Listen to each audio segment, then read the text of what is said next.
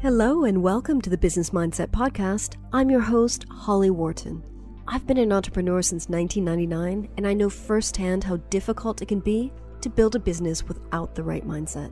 This is a podcast for those of us who struggle with showing up in our business with confidence and authenticity, who resist taking big action because of fears and doubts, who know deep down that it's possible to create something bigger, and yet you're not.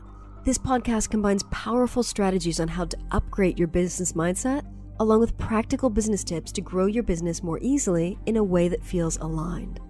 This podcast features solo shows with me and also interviews with inspiring women entrepreneurs from around the world, including my monthly co hosted episodes with Jo Casey. My goal is to help you grow your business more quickly and easily by transforming your mindset. For me, mindset work is a lifelong practice, and I want to help you make a habit out of mindset work. Thank you so much for joining us today. Now, let's get into this week's episode. Hello, hello, and welcome to the Business Mindset Podcast, episode 242. This is your host, Holly Worton, and I'm back with another co hosted episode with the fabulous Jo Casey. Today, we talk about the MBTI, the Myers Briggs Type Indicator. Now, you've probably noticed that Jo and I are huge fans of the MBTI, but did you know that Jo has actually trained in this extensively? And she used to facilitate evaluations as part of her pre business professional life. In this episode, we talk about why the MBTI is so important and how it's useful to business owners.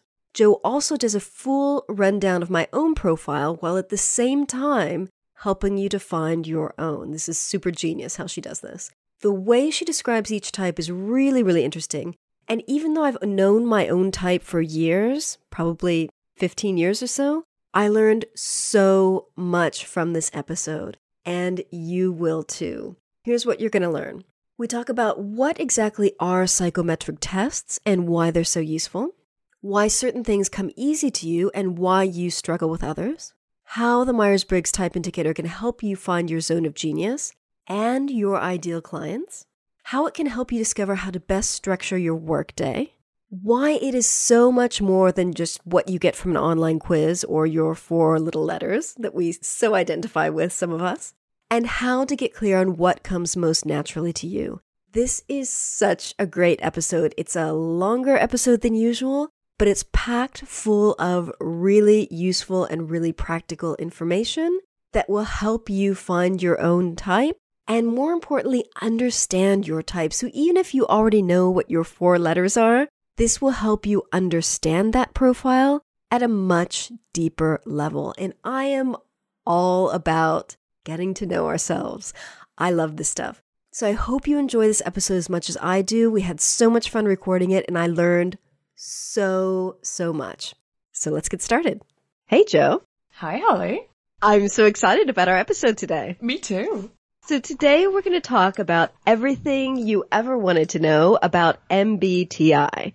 What is that? It's the Myers-Briggs type T- indicator. Thank you. All I know is it's the Myers-Briggs thingy that I love. I love it when I'm reading someone's bio on Twitter or online somewhere and they say they're an INFJ or, you know, whatever their thing is, because I instantly feel a connection with them. It's four stupid little letters, but I get so excited about it.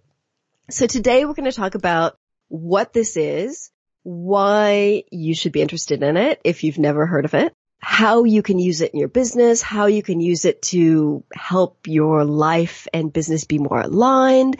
And if you're a skeptic and you think all this stuff is a bunch of BS, why perhaps you might want to open your mind and let a little bit of Myers-Briggs love into your life. So that's what we're talking about today.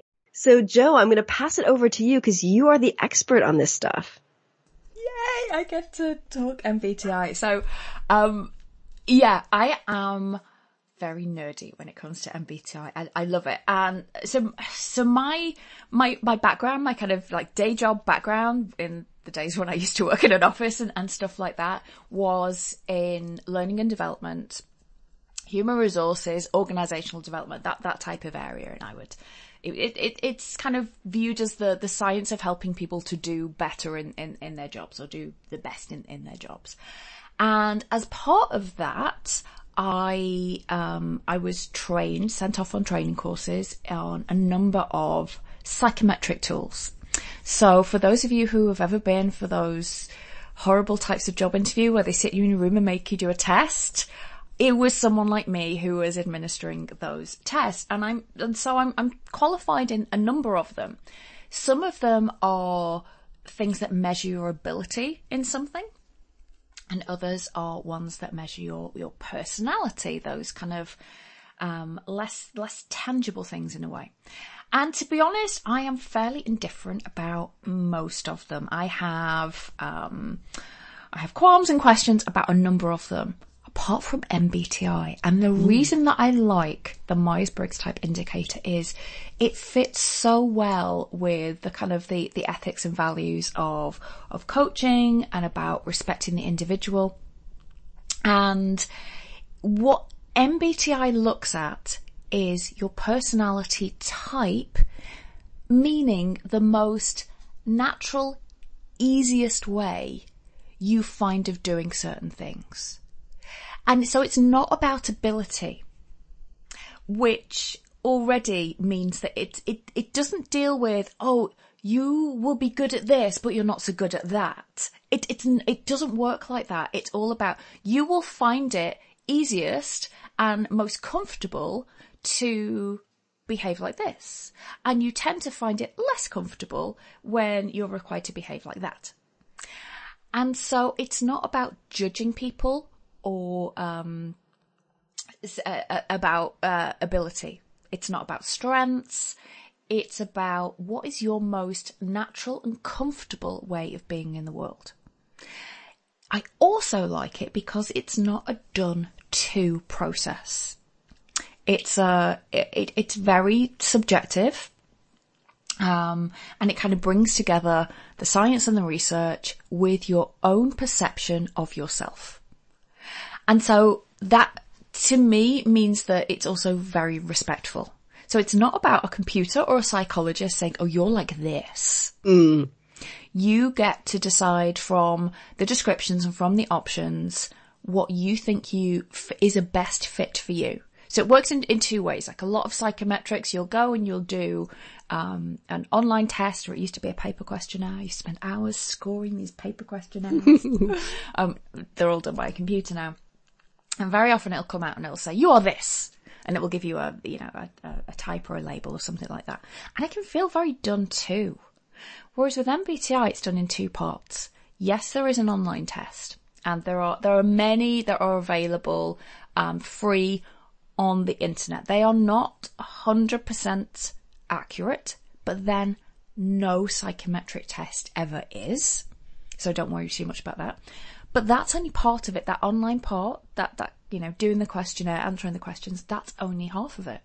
The other half is done in consultation with a consultant, somebody like me, who takes you through each of the areas and then you get to decide which, in your opinion, is the best fit for you. And that's ultimately decides on, on your type and I really like that. So it's it's not a question of some very clever person comes along and tells you what you are and what you're good at.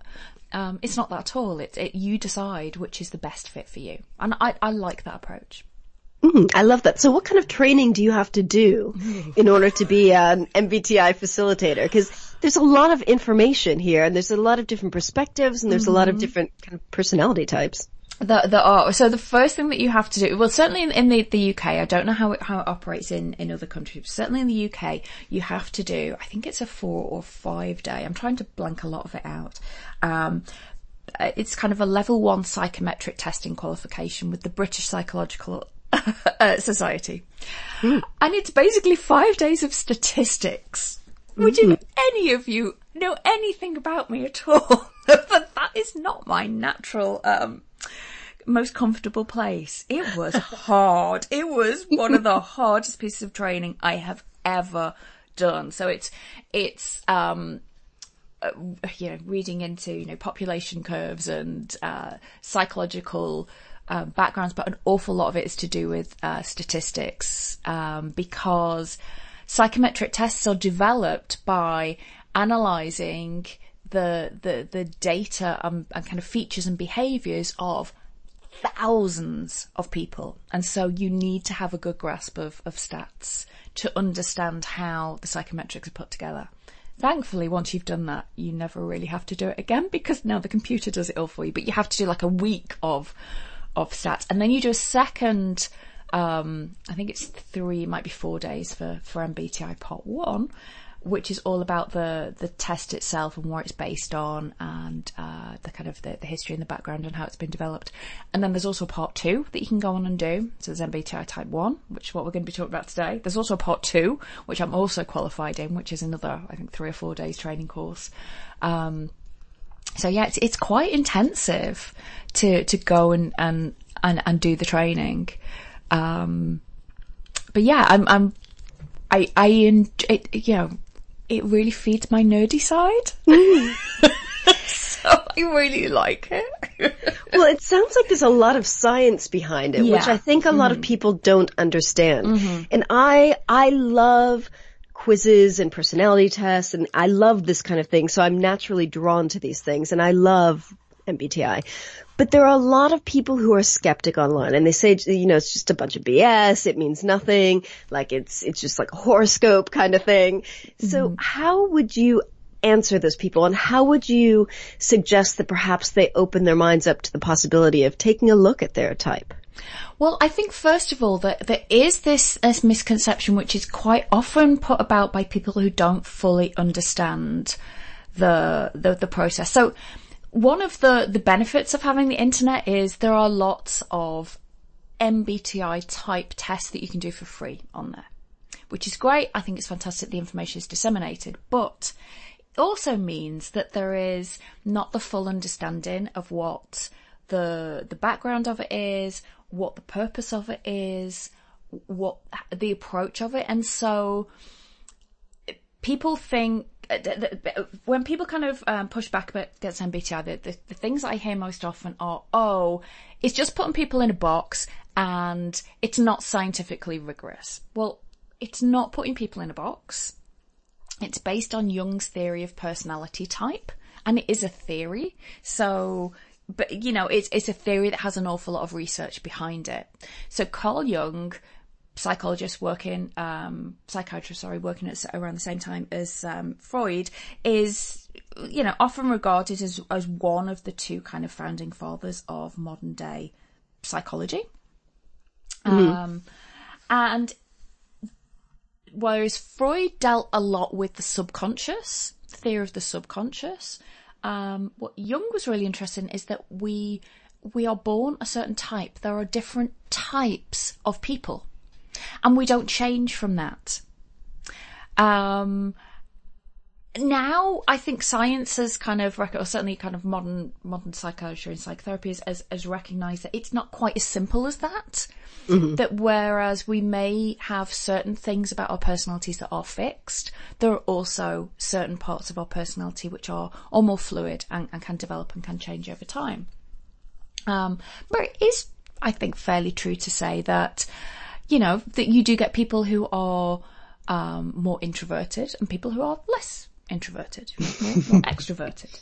It's true to say that some people are just naturally more um, comfortable with things like data and numbers and uh, right and wrong and, and have a way of looking at the world that is is is more kind of black and white, yes or no. Whereas for other people, there is many more shades shades of grey. Um, I think we also know this ourselves instinctively because we know that we meet some people we kind of click with, and we can go, oh yeah, I, I can relate to them. It's like we talk the same language, even though you may literally be talking the same language, say talking English or. Um, But then there's other people who you meet and you kind of go, they are like an alien. I just don't understand where you're coming from. Yes. And so one of the, the things that, that Jung was really interested in was, well, if we can kind of analyze and, and, and help people understand what their, their type is, then they can um, feel more comfortable in the world. They can start fighting against their natural instincts and their na- most natural way of doing things and start to, to lean into and play to those strengths. Um, and also do things like, you know, find work, um, that is going to be much more fulfilling to them and ways of working that's going to be much more fulfilling to them and ways of relating to others that are going to be much more successful and fulfilling to them than if they're constantly fighting against their type. Mm. Um, so this makes sense within a corporate environment, obviously, because you're working mm-hmm. with a bunch of different people mm-hmm. and you've all kind of got to get along and get stuff done. Mm-hmm. Why is this so important for the solopreneur or the entrepreneur? Loads of reasons. First of all, um, so the Myers-Briggs type indicator was developed based on Jung's work, but was developed by mother and daughter um, round about the time oh. of the Second World War. I, I, honestly, I, w- I will answer your question in, in a moment, but th- this is really helpful context. And um, uh, I think it was the, this is the mother. I can never remember whether it's um, uh, Myers or Briggs. Anyway, it was part of her role was to assign roles to servicemen in the US Army who had signed up during the Second World War. And she was interested in Jung's work and thought, well, wouldn't it be, rather than kind of randomly assigning people, wouldn't it be good if we could say, take the people who were great at numbers and put them into something that dealt with numbers? And wouldn't it be great if we could take the, the natural healers of the world and put them in the, the medic team? And we, so she was already thinking of applications for for Jung's work. And then over the course of, I think it was 20 years, it took her and her daughter working on looking at different job roles and kind of through the prism of, of Jung's personality types to write what would be good roles for the different personality types. And that's how the Myers-Briggs type indicator was initially uh, developed. Mm. So as a solopreneur, you will have already realised that there are some parts of your role that you love to do. and there are some parts of your role that you don't love to do. But as a solopreneur, you kind of have to do them all until you're at the stage where you can outsource or you can get help. There are also lots of different ways that you can run your business. So for example, you know, we talk about this, this, this quite a lot about, you know, what feels right to you. Um, and one of the beautiful things about knowing your Myers-Briggs type is that it gives you such insight into why certain things feel good for you to do and certain things just feel like, oh, I got, I got, it takes so much energy. And because it's not about whether you can do something, it's not about ability. It's about what is going to come easiest to you. It can help to guide you along those lines of, well, this is where I may need some help with, and this is where I'm really going to shine. This is going to be much more likely part of my zone of genius can also really help with what type of clients you want to work with. Because some of the types get on really well. Some of the types don't. They, t- they tend to clash, not because they're horrible people, but just because they have different ways of looking at the world and different ways of doing things. So I've talked quite a lot about how the fact that I'm not one of life's very organized people, but I love being creative. I love that kind of being in the moment. I need help with the side of my business, which is about forward planning and staying on track and doing things like, you know, accounts and stuff like that. Yeah. Because that's not my natural way of doing things. And so those things don't come easy to me. It's not that I can't do them. I can learn to do them, but it's not in my zone of genius. And so knowing that about myself, first of all, stops it stops you having that kind of real harsh self judgment. Oh my goodness, I can't, why can't I, I get straight with the numbers? I'm a terrible business person. I'll never be able to do that.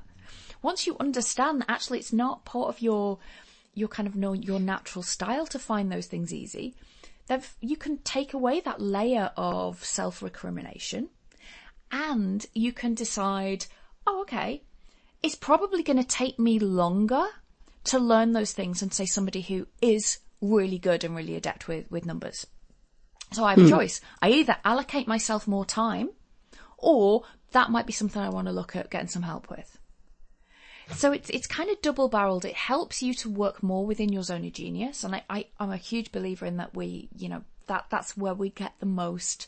That's where we achieve the most, and that's also what where we fly. Where you know mm. where we hit those points of oh I could do this all day. Yeah. And it takes away some of that self judgment. But for the skeptics, this isn't about, oh, you won't be any good at numbers because you're such and such a type. It's about, it's probably going to take me longer because that's not my natural way of doing things. But I could still do it if I wanted to. Mm-hmm. So it's not about putting yourself in some rigid box. And it's also not about giving yourself an excuse not to do things.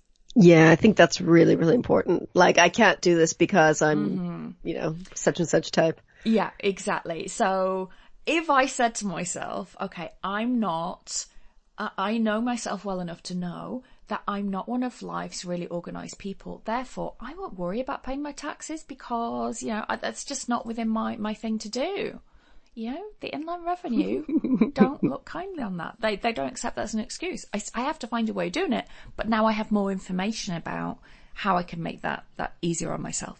Does that make sense? Am I explaining Yeah, that well? yeah, it does, definitely. Um, so for example, another one that, that comes up is introversion and extroversion.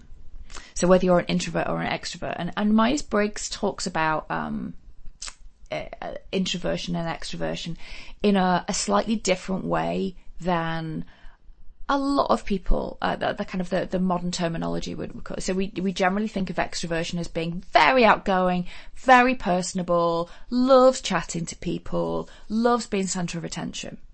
And introversion being very quiet, very shy, don't like being with people. That's not actually what we, we look at when we're talking about within a, a Myers-Briggs, um, context. We look at where your energy comes from. Yes. So I think, uh, uh, and this is a big one that people go, well, I did that test and it said that I'm an, uh, an introvert, but I love talking to people. Yeah. Well, yeah, I'm an introvert and I love talking to people too. But the difference is for an introvert, talking to people takes energy. Whereas for an extrovert, talking to people or spending time with people gives you energy, gives you fuel. And so as an introvert, it helps me to manage my energy by knowing, okay, if I've got lots of client calls on, or if I'm running a workshop, or I'm doing a webinar or something like that, or I've got a party that I'm going to, I'm going to need some downtime at some point so I can recharge. Yes. That was a massive reframe for me when I learned that. There's nothing wrong with you. And so that's the big thing I, I want everyone to take away from Myers-Briggs. There's nothing wrong with you. With any of it, there's no right or wrong. There's no one type that is regarded to be better than another. Even the kind of the guidelines that you'll find online are just guidelines. Even when Jung was doing this, it wasn't like, oh, if you're this type, then you should be a doctor or you should be a certain profession. It's not, it's just a guideline. It's just information. So it's not about putting you in a box. It's about giving you some additional insight into yourself. It's not absolute. It's not 100% because no psychometric ever is. When Jung was first working, he, and actually when the, the Myers-Briggs type indicator part one was first developed, was very much around, you are this type, you cannot move out of this type. Mm-hmm. So on the analogies is if you live i- at the very south coast of England, you are, st- which may only be what 25 miles away from the coast of France. You are still English. You are not French. you are still part of the United Kingdom, even though you're hundreds of miles from like uh, Wales and Scotland. But you're still English. You are not French. So that was it's very rigid. Once you're that type, you're that type. The Myers-Briggs Type Two indicator is much more of what they call a trait test. What they realise is actually we we have areas of kind of um, wiggle around the edges. So yeah, maybe occasionally there's part of you that maybe is a bit French. But you know, mainly you're English, but you've got this tiny bit of you that is kind of Parisian or something, you know. So it's, it's not as, as rigid. It does recognise that you can be an introvert, but you've got the odd extrovert tendency. It's much, it's much more fluid. So view it as a guideline, Mm-hmm. where it is a fantastic way of gaining insight into yourself, into why you find some things really easy and enjoyable and comfortable to do and why you find some things more difficult. And it's not because you're crap or you're useless or you're not cut out for this. It's just because that's not within your, your kind of natural inclination to do it. Doesn't mean you can't learn how to do it. Yeah. I think that's a really important thing to mm. point out. So, um, what we thought we would do, um, Yay! because Holly was really excited about this on our, our, our last podcast. We, we, we talked about this and I said, Oh, I will do, um, a feedback session for you on your, your MBTI type, Holly. And Holly said, well, how would this be interesting for other people to listen to? And one of the great things about, uh, MBTI, as I say, the, the kind of the online test is only part of it. And if you want to pause the podcast now, you can go to, uh, 16 personalities uh, is it dot com? Yeah. So it's one six, kind of the digit one six personalities.com. And they have a free, uh, Myers-Briggs type test that you can do. Like I say, it's not 100% accurate, but none of them are.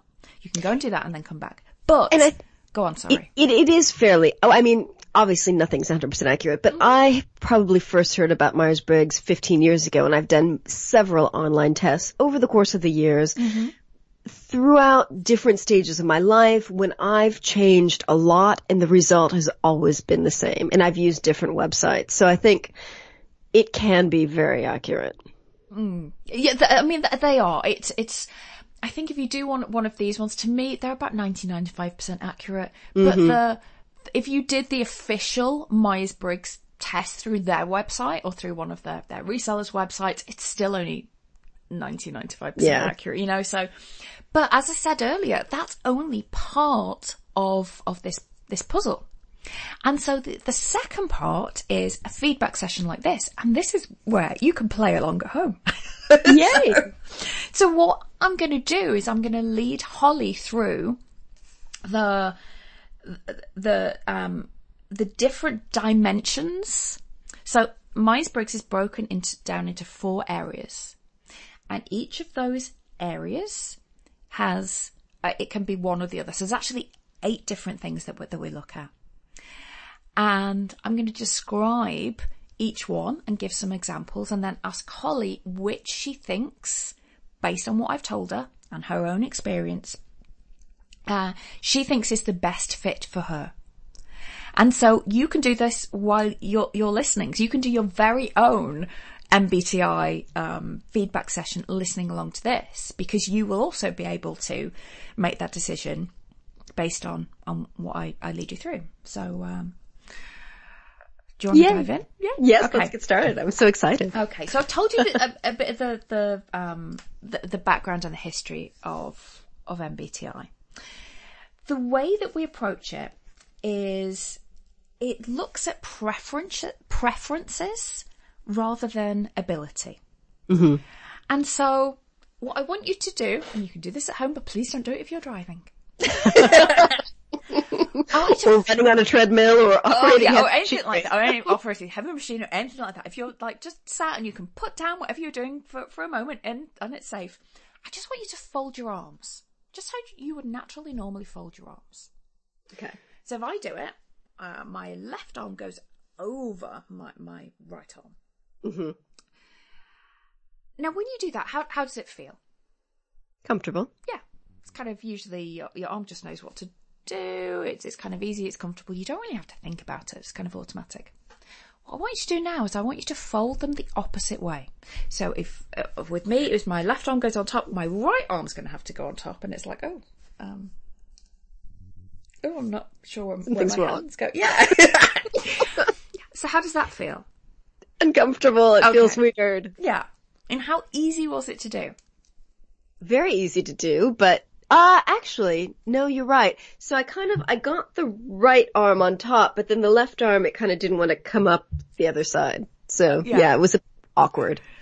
So for most of us, it's the type of thing that we can still do it, but we have to think about it. It just takes more energy. So it's not that you can't do it. It's just that it takes some additional thought and more effort. And that's the perfect analogy for what we're talking about when it comes to preferences in with MBTI. So it's not that you can't do the, the the things that are out of preference. It's just that it's way easier and takes less energy to do the things that are in preference. Mm. So that's a, I I didn't have to think about it the first time. I mm-hmm. did have to like look at my arms to do it the second time. yeah. Yeah, exactly, exactly. So another way that we sometimes illustrate this is you, we get somebody to sign their name with their, their dominant hand as they would normally do and then ask them to swap the pen over and sign their name with their other hand. And again, it's the type of thing that, you know, and obviously we're assuming here that we have, you know, two, um, fully, you know, well operating arms and hands here. If you haven't, you know, think about maybe crossing your legs or, or doing something that you would normally do, um, and then try doing it with the, the opposite limb. Um, so if generally when we're doing things with our, our, within our preference, it feels quick and flowing and natural. You don't have to think about, it's kind of effortless and easy. Um, and it, when you're doing it when it's out of preference, it can feel kind of slow and awkward and, and just unnatural. Um, you have to think and concentrate on it. It takes extra thought, requires energy. And also, sometimes people can get the sensation of, oh, it just doesn't even look like my hands. It's just not me. It's, you know? um, and like I say, that's the perfect analogy that we're talking about for Myers Briggs. It's not that you can't do it the other way. Um, it's just that it feels much more natural and easy and, and flowing. So I'm going to go through the four dimensions that we talk about in MBTI. And what we're looking for here is for you to um, let me know which of the, the, the kind of the, the descriptions more closely match that feeling of, yeah, that's kind of more natural and easy to me um, like when you, you crossed your, your arms. Mm-hmm. Okay? All right. Okay. So the first um, dimension that we look at is E and I, introversion and extroversion. This is what we've, we've already uh, touched on. There's a lot of different definitions of introversion and extroversion.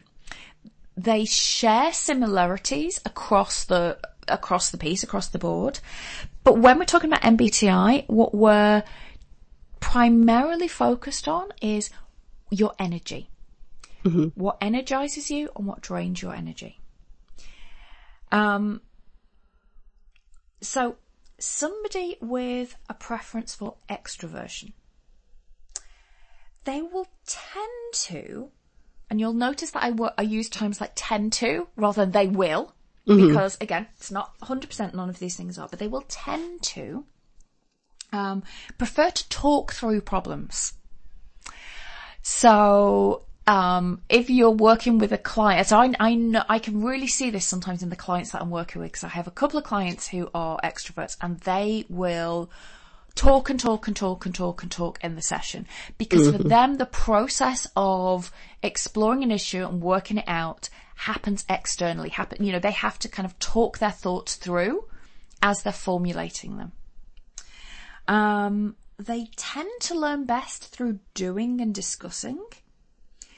They tend to have a breadth of interests. So they will tend to, say, have um, a large group of friends or a lot or and a large group of interests. And maybe you know I do Zumba and then I also go rock climbing. Oh and I've joined a book club. Oh and I'm trying this thing this week. But so they'll tend to have a, a, a what kind of breadth of um, kind of friends and acquaintances and also of interests. And they will tend to speak and act first and then reflect later as their, their kind of their thought and action pattern. Somebody with an preference for introversion, they tend to draw their energy through their internal world, through quiet, through reflection, focusing on their thoughts and their ideas. Um, they prefer to think through their issues and challenges first, and then tend to talk when they've they've had chance to, to think it through and reflect. They learn best by reflection rather than practice. Um, they tend to have a smaller number of interests, but much more of a depth of interest. So rather than going, oh, I'm doing Zumba, I'm doing this, and I'm doing this, and I'm doing that, it might be, I love, um, I'm trying to think of an example that's not related to you or I. Um, so maybe it's, I love practicing the bass guitar. And last year we actually went on a holiday to a factory where they made you know, double basses because I was so interested in that. That that's actually a, a, a friend of ours who, who did that. Really into bass guitars. That's his thing. Mm-hmm. Um, and they tend to reflect before acting and thinking. So they tend to do lots of kind of thinking. Sometimes, um, I sometimes refer to this as you need a long runway. You need to have a lot of thinking about it before you take some action on something. Um, think of it like, um, if, if you imagine uh, you've got a, a toy. The extrovert toy, imagine it's a, a toy robot. The extrovert robot is solar powered. So it's put away in the toy cupboard overnight. And overnight, it the, the battery on it drains because it's there in the dark. It's not getting any light, it's not getting any uh, stimulation to charge its batteries up. And in the morning, it's brought out into the, the daylight. And the daylight and the sun and the interaction with people, being played with, that is what charges its battery cells. And by the end of the day, it's now fully charged up because it's been in the sun all day. And then it goes back into the cupboard and then overnight it slowly starts to drain down. The introvert robot, still a great toy, still equally as good, equally as fun to play with. However, this is rechargeable battery powered. So, it's, when it's in the toy cupboard, it's plugged into the wall and those battery cells are recharged through the socket in the wall. So it's, it's that, it's those periods of inaction where it's recharging. That's what kind of charges its, its energy. And then it's brought out in the morning and it's fully charged. And as it's played with during the day, still just as much fun as the extrovert robot, it slowly starts to, those battery cells slowly start to drain down until by the end of the day, it needs to go back into the cupboard to be plugged into the socket to recharge. So that, that's one of the analogies that we use for introverts and extroverts. So extroverts are, they're energized by interacting with people. It might be big groups, might be conversations, um, being on their own, they tend to find draining. And this is really, uh, I think, really useful to know as a solopreneur. Because we tend to spend a lot of time on our own. Mm-hmm. And so if you are, are of an extroversion preference, you might find it really draining spending lots of extended periods of time on your own. Whereas for someone with an introverted preference, that is your recharge time. You still need interaction with people. We all do. We're humans. We all need that. But it would be the going to the networking events. It will be maybe doing workshops or doing client calls that drain your energy. And it's the those times of being on your own and being quiet and being able to kind of get on with things in, in isolation that recharges you. And so knowing this as an entrepreneur can help you to structure your day, to structure your activities and to structure your recovery time. So, for example, if you know that you have two full days where you're going to have to be working on um, maybe putting a course together and you know it's going to, you know, it's head down, I need to work on this, or I'm doing some stuff for a client. Um, and I need to work on this. And I know I'm going to be working in my home office and yeah, that, that's just how it is. But you're an extrovert. You now have some information that can help you manage that. So for example, I know loads of people who love working in co-working spaces. Because even though they may be working solo on their own, they still need that, that being around other people, being able to go and have a chat with somebody while they're making a coffee, just knowing that there's other people around having that kind of interaction. They may want to make sure they've got events or seeing friends of an evening and uh, or talking to friends on on the phone or making sure that they have co-working kind of virtual coffee um, coffee mornings and things like that. So they still have that interaction to keep them um, engaged. Introvert, if you have a um, something that's going on where you need to kind of get your head down and you're going to be on your own, you you may find that no problem at all. It may be when you know you're, you know, you have to go to the conference and it's going to be two days of networking and interacting with people. You may then find that you need to build in some some ways that you can recover and manage your energy, such as so I've got a, a friend who went to World Domination Summit, and apparently there because Chris Guillebeau, I can't remember, don't know how to pronounce yeah. his name. Mm-hmm. Um, apparently he's an introvert, so he has breakout chill out rooms there mm-hmm. where you can go and you can go and have some introvert recovery time in the quiet. I love that concept. I, I, remember reading about that years ago and thinking, yeah. oh, maybe that's the kind of event that I could actually yes. go to. yeah, yeah. Um, or you know when when i if i'm having to do a lot of traveling or I'm, I'm running a workshop or something i always make sure that i have the next day blocked out in my calendar where i don't do any client calls and i don't do a lot of interaction because i need that kind of quiet time as recovery because i'm an introvert so based on what i've just said holly where which description most closely reflects your preference introvert total, total, total. Because that was going to be my, my, my next question. So, um, very short, not sure, but very short. 1000% sure. Okay. Very short introversion. I know. This is the woman who takes herself off and goes to a hotel on her own for a weekend to write. I, yeah, okay. Fair enough. Now, this, you may be, if you're listening to this, you may be thinking, well, there are times when I love spending time with people and times when I don't. That's perfectly normal. We all are a mixture of them. It's about which do you have a, a, preference for? So sometimes people like Holly will have a real strong preference for it. Mm-hmm. Sometimes it might be more in the middle. If you had to choose one or the other, which would you come down on? Um, so that can sometimes help. It's also worth bearing in mind that sometimes these things are situational. So, so, I know people who are out and out extroverts, but there are certain groups of people that it's just like, oh no, I need to lie down for a week after spending time with them because it's it's very taxing in other ways. Yeah. Um, if you had to choose one or the other, now remember this is just information to help you be able to manage your energy better. Which would you choose? And if you're still not sure, then maybe experiment with it for a bit. Maybe give yourself an afternoon where you're just on your own. You're not um, interacting with people and see how you feel. Is that energizing? Is it draining? Spend some time with pe- with people if you you are naturally spending a lot of time on your own. Do you find that helpful? Do you find it not helpful? So it just gives you more information to be able to play with.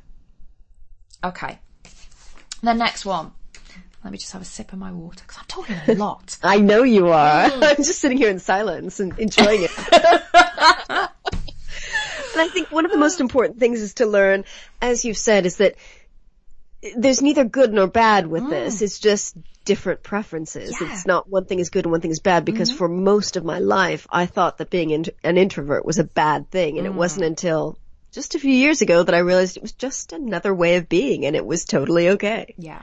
I mean, Susan Cain's book, yeah. Quiet, is such a, if you are an introvert or actually even if you're an extrovert and you want to understand why are they so quiet why do they never speak it's just rude you know we have so much um, cultural judgment around mm. introverts we tend to um, favor extroverts as, as, a, as a culture. And yep. so introverts can quite often carry around this kind of something wrong with me. I don't like parties. What's the matter? I'm really antisocial. Um, so understanding that, you know, this, this is, this is natural. This is normal. There's nothing wrong with you. And, you know, extroverts are not just, um, just being loud and brash. That's just their natural way of processing things. And extroverts, the introverts in the room, they're not just being rude or antisocial. That's just their way of processing things. I, I think this can also really help to bridge the gaps between those people that we just think, I just don't understand you at all. Mm. Um, Anyway, let's move on to the next uh, dimension. And this is S and N, and it stands for the S stands for sensing, and the N stands for intuition. Um, so this is about what kind of information you prefer to pay attention to and how you take in information. So people with a sensing preference, they they have a preference for looking and paying attention to specific information and facts to find out what is actually happening. So they are observant about what's going on around them. They are practical. They tend to be looking for the pragmatic approach to a situation. They like to focus on what's real and what's actual. So I can, can I see it? Can I touch it? Can I smell it?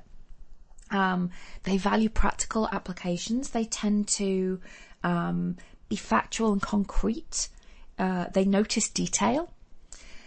They tend to remember specifics about stuff. They tend to enjoy being in the present. They want information to be accurate and precise, and they tend to trust their own experience rather than theory. People with an, a preference for intuition they tend to focus on patterns and associations between facts rather than the facts themselves. They're interested in connections and looking for what might be and possibility rather than just focusing on the, well, what is. And so they're very good, or they tend to be very good at focusing on ideas and possibilities, big picture, um, tend to value imaginative insights and the abstract and theoretical. They tend to see patterns and meanings in facts. Um, they tend to enjoy thinking about and anticipating the future. And they also tend to be quite stimulated by amb- ambiguity. And they trust inspiration and that kind of, oh, I just have a good feeling about this. Um, so people with a, a sensing preference, if I held up an apple and said, tell me what you see, they would typically say, I can see an apple, it's red, it's round, it looks like it's very fresh. Um, can I smell it? Okay, yeah, yeah, it smells fresh, that. If I held that up to someone with uh, an intuition preference, they may say, oh, it's an apple. Ooh, forbidden fruit. What are you trying to tempt me with there? They will tend to link the thought will tend to link onto something else.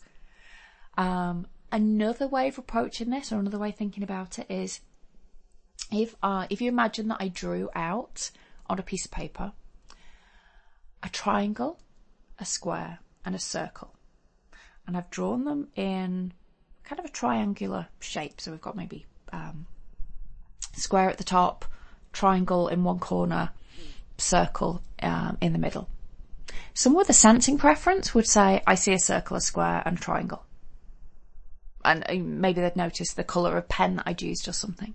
Someone with an intuition pre- preference would be more likely to see the triangle shape that those three elements were making. Does that make sense? Yeah, it does. Yeah. Mm-hmm. Okay.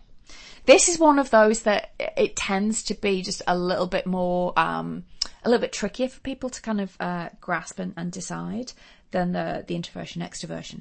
But people with sensing preference will tend to like numbers and be good at detail and give me the facts. Don't give me some woolly theory about this. I don't care what it might be able to do. Tell me what it can do. Whereas somebody with an intuition preference may be much more likely to kind of go, okay, that's what it has done. Tell me about the possibilities for this thing. Mm-hmm. What could we do with it? Does that make sense? Yeah. Okay. So based on what I've said, where where would you place yourself? What, what which description most closely reflects your preference, Holly?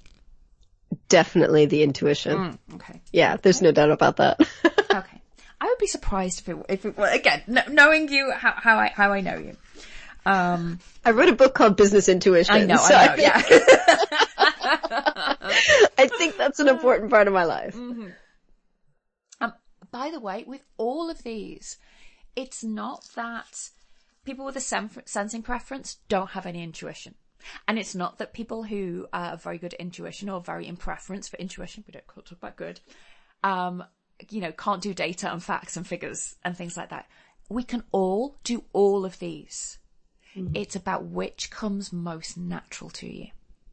So, so, so remember that, bear in mind, because we can, we can tend to carry around self judgments um, about about these things, about where we come down on them.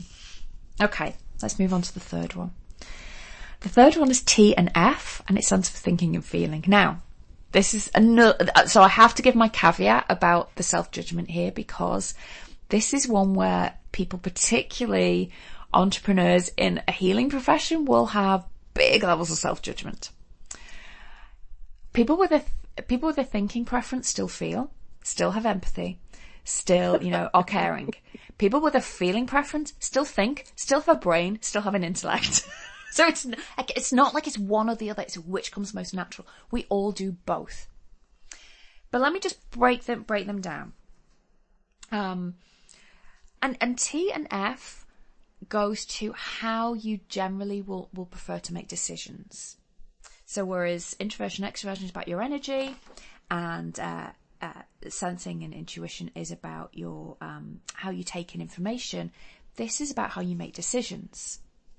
So, for someone with a thinking preference, they imagine that there's a, there's a situation that you have to make a decision about. Someone with a thinking preference is eh, usually able to stand outside of the situation and look at it objectively from the outside in. They like to analyze the logical consequences of a choice or a situation. Tend to have consistent rules that they will apply in um, in this in situations. So, if, for example, you had a manager in a workplace, they would be the type of person I treat everyone the same, regardless of circumstances, because that is fairness to me. Um, like I said, they like to stand outside the situation and examine it objectively and analysing cause and effect. They tend to be guided by objective logic. They tend to focus on cause and effect. They look for flaws in logic. They tend to apply consistent principles in dealing with people. And in a, in a, a, working environment, so if you're working with colleagues, if you're working with, you know, if you, you have people that you, you collaborate with or you have people on your team, um, they emphasize the involvement with the task. You know, we need to do whatever we need to do to get this thing done and out the door. Someone with a feeling preference will prefer to make decisions from an involved standpoint. So they will use empathy as their kind of first port of call. They will imagine themselves in that situation. Quite often imagining, well, how it is from each person in each different standpoint. So rather than that being kind of outside looking at objectively, they actually want to be inside looking at it, you know, from, from all the different standpoints. Um, they have a preference for seeking harmony. Um, they judge the importance of valuing um, difference. They will make decisions based on, on, on values, personal values and convictions. They have a focus for harmony with their own and others' values. So it might be, I want to get a win-win on this. I want us to come out with a decision where we're both happy. Um, they look for common ground and shared values. They tend to treat each person as a unique individual. So in a workplace or in a team situation, it would be, okay, I'm going to take everyone's situation into consideration. I'm not going to treat everyone the same because I recognize this isn't a level playing field we're all working on here. So, you know, if somebody has, has children and need to be away to do the school run at a certain time, then I may offer them a more flexible working pattern than say somebody who doesn't, for example. Um, and in a working situation, in a team situation, they're also going to value the process over the outcome. You know, I don't care so much about whether we make this the best product ever. I want to make sure that we enjoy the journey and we get as much learning from this as possible. So, based on that, do you do you have a you know do, do you have a feeling of, of where your preference would be, Holly? Do I have a feeling? Sorry, that's me looking. Okay. Yeah, Where definitely, would you definitely. Place yourself. definitely on the F of feeling. Okay. yeah, and I, it's very interesting the way you describe that because I've just realized why when I'm online and in different online forums, I find the thinking people so annoying, like the way they just mm. analyze everything. And I find that really hard to resonate with. And I, it just, yeah, but so interesting to understand how they're functioning because I do not function like that. Yeah. And and the thing so the, the the people with the thinking preference, they can get really annoyed with the kind of oh my god with the feelings, what's going mm-hmm. on? Yeah. Um, let's look at the practicalities here. You know, let, let's look at this logically and rationally. In mm-hmm. relationships, this can be really interesting. So I think a lot of time we we we talk about this as being gendered because I do think uh, this is where culturally we we kind of raise girls and boys. You know, girls are meant to be feeling more feeling than boys. Boys are meant to be more logical and, and robust. But actually, the data and the research suggests that it, it's pretty equal between the sexes. Interesting. But we we kind of funnel girls and boys in these different directions. You know, it's what we give people um, kind of strokes for and props for. you know, we reward girls for being caring. We reward, reward boys for being strong. Yes. Actually, th- there's no real difference between the genders. And by the way, we all have the capacity to, to do both. It's just where our most natural instinct will go to first. Mm. Well, I always say that my gut is smarter than my head, so that's that's my feeling. So whether something feels right or doesn't feel right, because mm-hmm. when I make decisions with my head, it's not usually a good mm-hmm. result. that is is really quite a, an impreference thing for somebody with a an NF preference to say. so my my gut is is best at making the decisions. Um, so I, I really do want to stress this because there is a lot of baggage that people have. So say you are a coach or in a healing profession or an entrepreneur, you know, and you, you think, no, actually I have, I have a, a thinking preference. That doesn't mean you don't feel. That doesn't mean you don't care. Mm-hmm. You do. It's just your, your kind of most natural, comfortable thing is to go to the, the thinking, let's be objective first and then examine, you know, so how do I feel? How might other people feel about this? Let, us you know, if I'm, if I'm, thinking empathically about this, how might people, be, you know, be, be feeling? So it's not that one is right and one that's wrong. Um, they're just different. Um, so beware of that that comes up because I've I've worked with numerous women who go, but I want to be on the feeling side, but I know mm. actually yeah, I, I, I'm, I'm, I'm much more logical. I'm rational, but I still care. Yeah. yeah, and you can absolutely do both. And it's not like, you know, if you're on the feeling side, you never use logic and you're just, you know, let's just love everyone. It'll be fine. You know, that, that's not how it works either. Okay. So the last, um, the, the last dimension that we look at is J and P, which stands for judging and perceiving again, this one comes with a health warning because we, uh, what we're talking about is judging, not judgmental. And a lot of people read that word as, first of all, as judgmental. We don't mean it as judgmental. It's judging versus perceiving. And this is, this looks primarily at your lifestyle and the way you kind of approach the world. Um, so people with a, a, a judging preference, not judgmental, judging preference, they have a preference for coming to closure on decisions. They prefer to live life in a, a more scheduled and orderly way. They want things to be controlled and regulated. They like, tend to like making plans and then sticking to those plans until they're completed. They tend to not like open-ended things. They tend to not like um, surprises. Um, they get satisfaction from getting things done. So people with a judging preference tend to love lists and love, like, love taking things off the lists. Like really get pleasure from planning and um, completing tasks. They like to get things decided. They like to be scheduled and organised.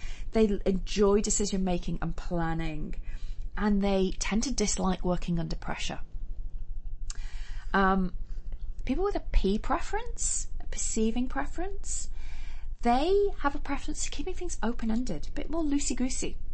They like to live life in a flexible and spontaneous way. They tend to be comfortable going with the flow and taking advantage of spontaneity and last minute options as they arise. They um, they tend to enjoy using resourcefulness and adaptability and tend to feel a bit constrained by plans and structures. They like to keep options open they like to be spontaneous and adaptable. They enjoy the process and they don't tend to like making a decision before they really have to make a decision. And they tend to get energized by last minute time pressures. Now, if you're working with, this is so useful to know if you work with other people, or you live with other people, or you're just involved with other people at all because J and P, people with a, a J preference and people with a P preference, can really complement each other really well, or they can drive each other nuts. so, imagine you like your plans. You like to be organized. You have a time scale and a structure. You like to get things done on time, actually, in plenty of time and you're working with someone with a P preference who's kind of really go with the flow and open ended and quite enjoys last minute time pressures. And so um, will tend to get things in not late, but right on the button of the deadline. Um, I, someone with a J preference can find that really stressful to work with someone like that. And someone with a P preference can find it really stressful to work with someone with a J preference if those plans and those um, those structures are, are, are they, they, can feel very rigid to someone with a with a P preference. Um, so, Holly, knowing you as I do, which description more closely reflects your preference? I loved your description of this because I'd never really understood the difference between judging and perceiving until now. Ah. And I'm definitely a J mm-hmm. because I, I cannot handle working under pressure. I have to get closure on things. When I don't have closure on things, it drives me crazy. Um, I was supposed to be interviewed on someone's podcast a couple of weeks ago. The day before, the woman's um, assistant contacts me and says she's really sorry she's got to cancel. And I was like, that's totally fine. Should I rebook? No answer. A couple weeks later, I follow up. Hey, just checking in. Should I rebook? No answer. I am going crazy in some part of my mind. Like, this interview is not important, but I can't handle that he hasn't come back to me and said, fuck off, don't, don't in. Like, I don't care what, what the answer is. I just want some closure on this totally inconsequential thing. it's driving, it comes into my mind like every day. I'm just like, just tell me to go away. so yeah, closure is a very important thing to me. I love having a schedule. I love having everything mapped out in my Google calendar. When I make a plan, I stick to it. I can't handle when things come up and I have to change my plans. It kills me. I love making lists. I remember being a teenager and making lists of lists that I wanted to make. Um, I, does that when they're like 16? I had in my diary lists of lists that I wanted to make. I love planning, I, and I can't handle surprises. When my husband and I first got together, my first birthday, he threw a surprise party for me. I just sat in the corner the entire time. I was just so, I couldn't believe, I thought we were going out for dinner. All of a sudden I walk into the house and there's like 40 people there. I'm just like, what, what just happened to my life? and it was the most beautiful thing that he did for me, but it was just my brain couldn't handle it. Oh. Yeah. Yes, okay. Yeah, I would say that's very uh, typical in preference, uh, J. Um, and this is is one of those things that can be a real, you know, if you're a J or a P, you can use those as a real strength in your entrepreneurial business so long as you're aware of it and you you you have kind of um, strategies in place to mitigate when you have to work out a preference. So, for example, one of the reasons that I think you and I um, collaborate so well together is I am a P. Yay! You are a J. You are the organised one of the partnership, and I'm the one going, ah, oh, we'll just wing it. I do the show notes. Yeah, yeah, yeah. And I'll be like, oh, what do you fancy talking about today? Now, sometimes we'll have planned it. And can I just say that today, I, I think I was the slightly more organized You one. were. I totally forgot. Do you know why I forgot? Because Esther in the Facebook group had proposed a topic yes. that has been on my mind for a while. Mm-hmm. And I mm-hmm. was like, I'm going to tell Jo, we're going to talk about that. I'm going to see if she wants to talk about it because that's really exciting. And I'd totally forgotten about You this. were going to be spontaneous. I know. what, what is that? Oh, okay. So, based on what you've told me then, your um your your personal type, the one that you're deciding is the best fit for you, is an I N F J. Yay! And so you I did get you to do the online test before we we did our call. What was the type that that said that you were? Same thing, INFJ. And INFJ. every time I've taken the test, it's been an INFJ, but I've never really understood it until now. Like it's never been so clear to me why I am those four letters. Uh-huh. Okay. Cool.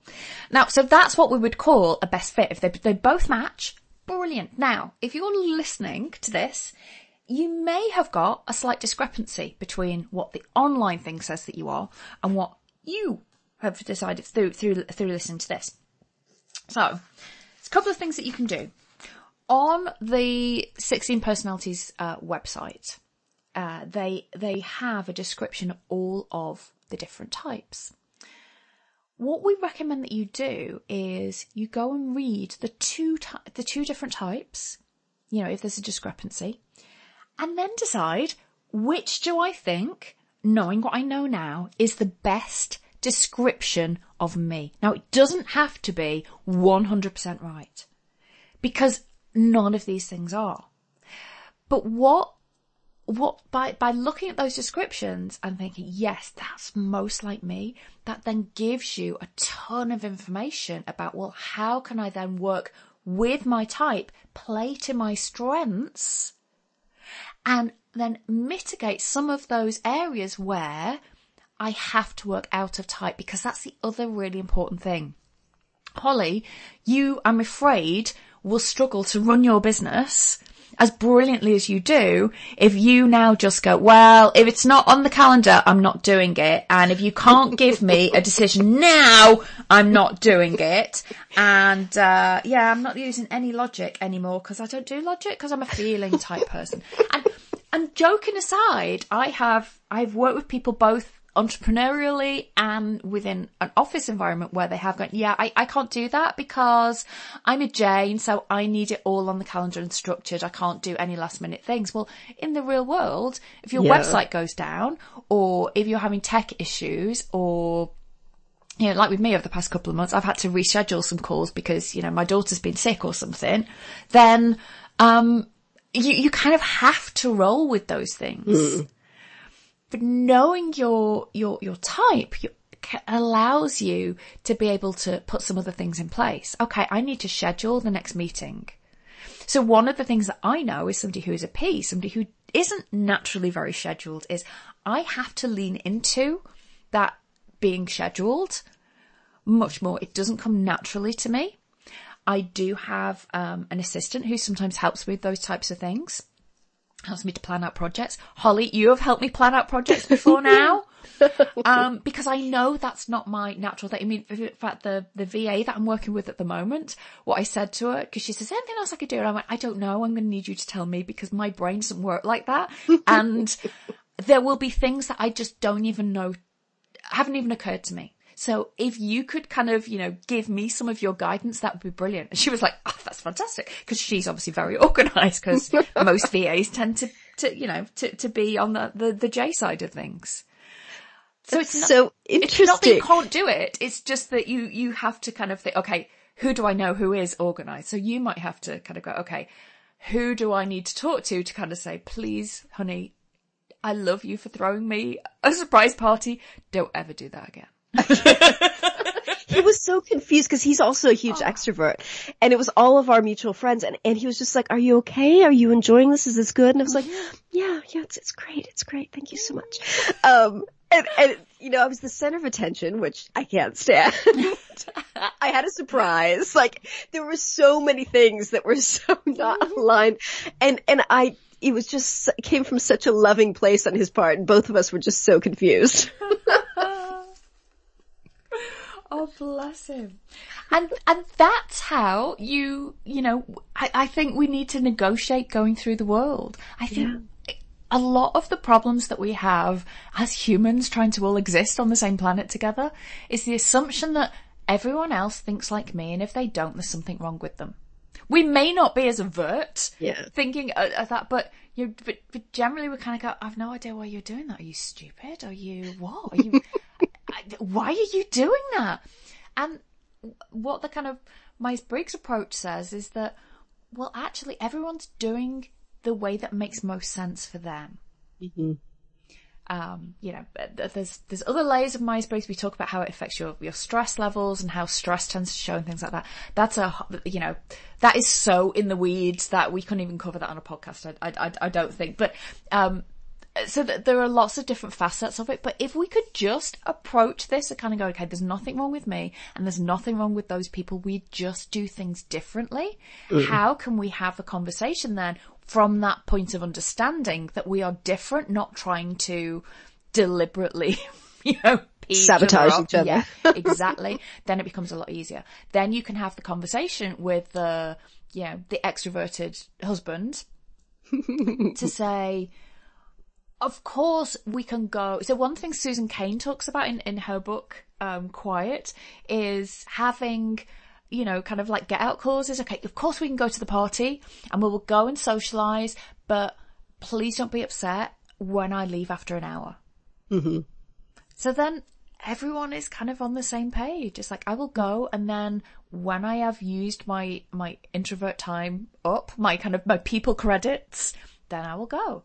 Or if you are um an, an introvert and your partner's an extrovert, then then you know sometimes yeah you're gonna have to leave the house and you're gonna have to do some of those sociable things because your partner who's the extrovert they need that. That's their fuel as well um, so unless you want to live a totally separate life where you don't do anything together, then there are areas where you're going to have to lean into that. I'm going to have to spend time. I'm going to go to a party, but maybe I, I allow myself some recovery time afterwards, or maybe I, I do spend an hour hanging out in the kitchen, just having a one-on-one conversation with somebody, um, until I've kind of recouped some of my energy and I can go back out into the, the thrall. There should be like Myers-Briggs dating apps or something. Oh, for sure. Yeah. I'm sure there are. there probably are. Yeah, it's, it's probably one that, that they've done out there. I am super aware that this is now getting on for quite a, a long episode. So, uh, any have you got any other any other questions or anything else that you want to say, Holly, about this? No, I I found this incredibly useful because despite the fact that I knew what my letters were, I never fully understood it until today. So, I think this was incredibly useful for me, and I hope that the listeners agree because it's, I just think that anything we can do to understand ourselves better mm-hmm. helps us to just live a better life and to work with our clients better and to engage with other people better. And it's just, it's just part of becoming self-aware of who we are, how we are, and how we function in the world. So I think this is just really important stuff. Mm-hmm. I mean, I'd love it. I mean, you can tell from my voice, I'm like, I'm in nerd heaven with this stuff. Um, but I agree. It helps us to understand ourselves. It helps us to understand one another from a very respectful place of, okay, we're different. So how do we, how do we then manage these differences? How do we, uh, work together rather than kind of going, I am this type and you are that type and the two of us will never mix and never do anything. You know, that is, that is where you get into the kind of you're just putting people in boxes and what's the yeah. point of that um, it is about how can we f- foster understanding of ourselves and uh, of one another and that, that's why I, I love it so much uh, but and I think that's also why this kind of the second half of the evaluation where you're actually speaking with another human being yes. is so important because mm-hmm. it helps mm-hmm. you understand not just how you function but how the other group functions yeah. as well. Mm-hmm. Oh yeah, when I run this in a workshop, which I've, I've I don't do so much anymore, but it tends to be something that I did a lot more when I had a, I had a day job. We kind of break people off into groups depending on the which which type they are, which side of the preference of, of one of the the areas they are, and you know having the two different groups see how differently mm. people respond. So there's one where we have uh, we break off the J's and the P's, and we say, okay, here's a piece of flip chart paper. You're going to uh, show me how you get ready. You're planning a holiday. You're, you're going to go on holiday. What do you do? And the J's get so excited and they're all fighting over the pen and they're making lists and they're kind of, and you know, it, it's, it's things like, which you, you may be able to relate to, I don't know. So I start planning it six months before. I have all of my codes co- color coded in, you know, I have a spreadsheet, blah, blah, blah. And the P's are stood there going, I don't even understand the question. What, what do you mean? Um, I decide where I'm going. I show up at the airport. And there's stories of things like, oh, once I showed up at the airport and I realised I hadn't packed any clothes for my second daughter, but it was fine. We bought her things when it was out there. And the J's are doubled over with just the anxiety at the thought of it. Um, so it's really good fun but a, a, good way of uh, just illustrating, you know, people do things differently. Yeah. And that doesn't mean that, you know, they're just trying to deliberately ruin your life. they're just really different. Um, so yeah. Yeah. Thank love you it. for letting it. me experiment on you. I enjoy Thank you for playing with Myers Briggs. you are so welcome. And if you're listening to this and you have any questions or, uh, obviously we'll put the link to the, um, yes. 16 personalities site and a bit of stuff about Myers Briggs in the, in the show notes and stuff. But if you do have any, any particular questions, then you can drop me a line, jo at jocasey.com and holly at hollyworton.com. Yeah, but don't email me because you're the expert on this. This is true. Yeah, okay. You can email me to talk about INFJ stuff. okay, yeah, and lists. And uh, the lists, the, Make lists that together. you want to make. That cracks me up. That's a very J thing to say. Can I tell you, uh, just before we finish, the most Yes. embarrassing thing that ever happened to me in a training room? So, um, Yes. I know the story. I love it. Okay. I love it. so I was, I was lots and lots of ideas, and we were kind of, uh, I was bouncing ideas off with one of the, the delegates. There's a room, like 20 odd people in the room. And, uh, we're talking about that. My partner who I was co-training with, co-delivering with, the day, he was very J and he was like, we need to get back on track. And I was like, oh no, I'm so sorry. I'm getting so excited. I'm just wanted to do this now. That's the penis in me meaning the P as in perceiving ness in me. But of course, when you say that fast, that that's not where it sounds like at all. That's the penis in me. yeah, I never lived that down. I love that story. I think we should end it there. Yes, I think we should. so please drop me a line and let me know what you thought about this week's episode. Email me at holly at hollyworton.com or find me on Facebook, Twitter, or Instagram and get in touch. I would love to hear from you. And thank you so much for listening. If you enjoyed this episode, please leave a quick review on iTunes. It would mean the world to me. Remember to visit hollyworton.com forward slash 242 for the show notes on this episode, including links to some of the things that we talked about. And I'll be back next week with another solo episode. Thank you so much for tuning in and have a beautiful day. Thank you so much for listening to the Business Mindset Podcast. You can find more information about today's episode, including links for the topics that were discussed, at hollyworton.com. If you'd like to connect with other listeners and learn more about business mindset, join my private community for entrepreneurs at hollyworton.com forward slash group. That will redirect you to the Facebook group. And if you enjoyed this episode, please remember to head over to iTunes and leave a quick review of this podcast. It just takes a minute. Thank you so much.